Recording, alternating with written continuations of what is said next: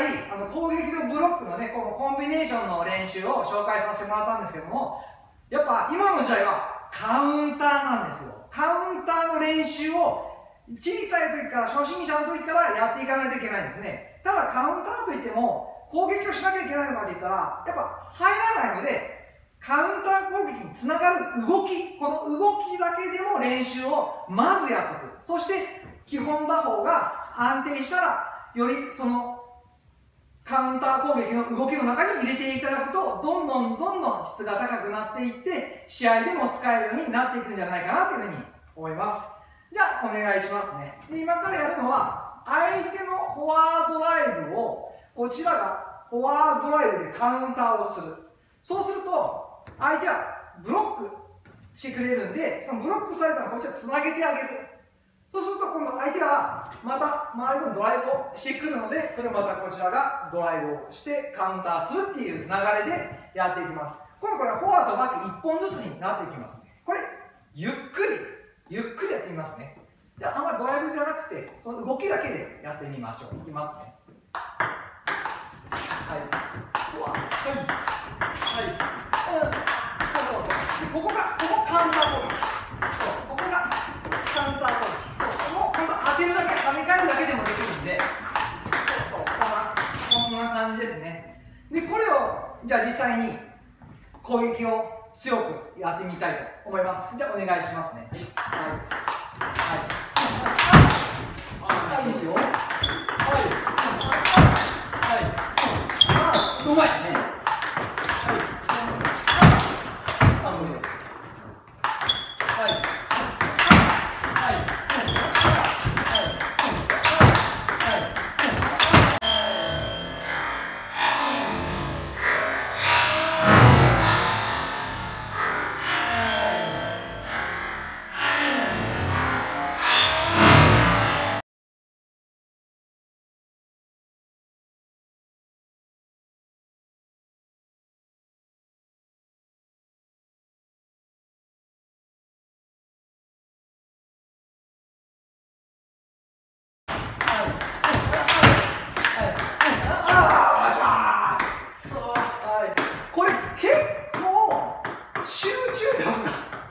練習なので例えば試合会場の朝一番の練習の時集中力は調子も上げたい。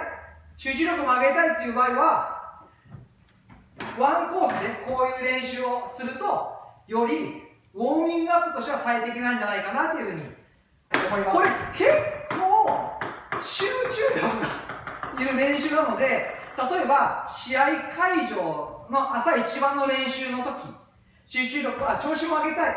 集中力も上げたいっていう場合はワンコースでこういう練習をするとよりウォーミングアップとしては最適なんじゃないかなというふうに思います。でこれアレンジ入れるんですね。例えば相手に3球目攻撃をしてもらったのをカウンターしてから今の練習をやってみるとか。ちょっと今からやってみますね。お願いします。Pai.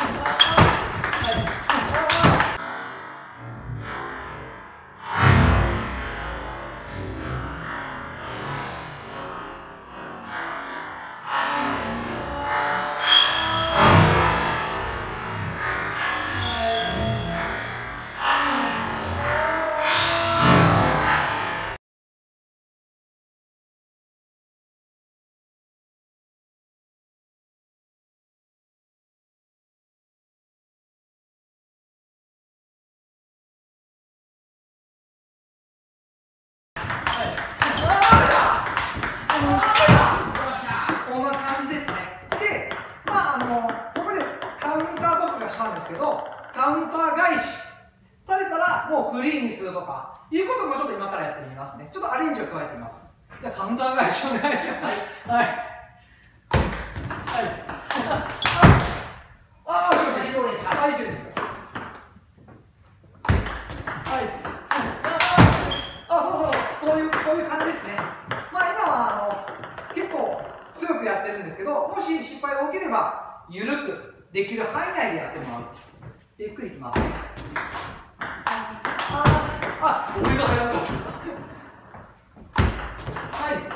あああ言ったらもうフリーっていう感じでもう本当カウンターの世の中になってるよねもうねそうですねカウンターできな加点ぐらいになってるのでやっぱ最初の段階からこう相手の攻撃を攻撃で返すっていうパターンを練習してもらってカウンターできな加点ぐらいになってるのでやっぱ最初の段階からこう相手の攻撃を攻撃で返すっていうパターンを練習してもらうといいのかなって思います。でこれ相手が今フォワードライブで攻撃しててこっちがフォワードでカウンターしてるんですけどそれを全部バックでバックのカウンターもいるのでバックでやることも大事なと思います。ちょっとゆっくりゆっくりやってますね。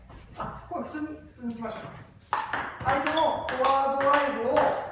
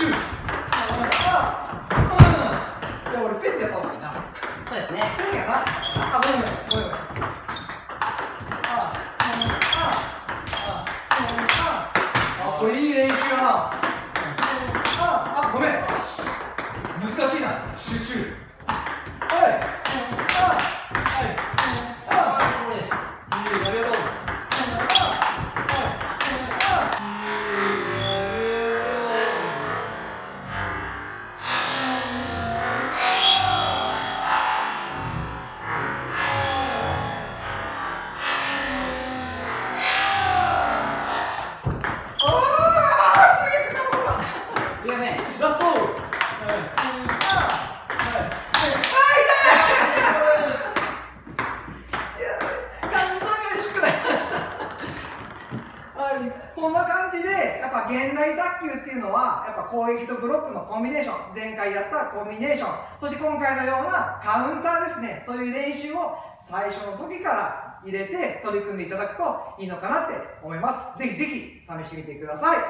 じゃあこの動画気に入っていただけましたグッドボタン、そしてチャンネル登録の方もよろしくお願いします。じゃあまた次の動画でお会いしましょう。ご視聴ありがとうございました。